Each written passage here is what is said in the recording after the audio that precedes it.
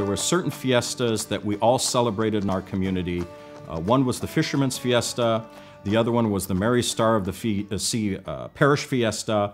And when those events occurred on certain weekends in San Pedro, it's like time stopped. Is that those three days, that's where everyone was.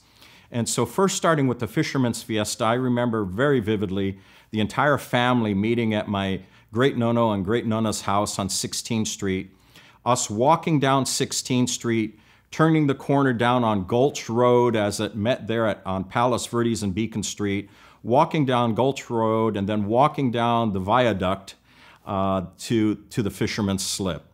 And it was just a wonderful array of rides and booths. It was a carnival, it was a celebration of, of Croatian, Italian, Portuguese families all celebrating their fishing heritage. Uh, the parade of the fishing boats, they were all decorated with flags and banners and, and all sorts of stuff. And the fishing boats would parade up and down the channel of the harbor was just spectacular. And that, and then the Mary Star Fiesta, where I guess part of my spirit of volunteerism through my mom being a member and past president of the Velika Gospa Society, which was a parish society uh, dedicated to the Virgin Mary.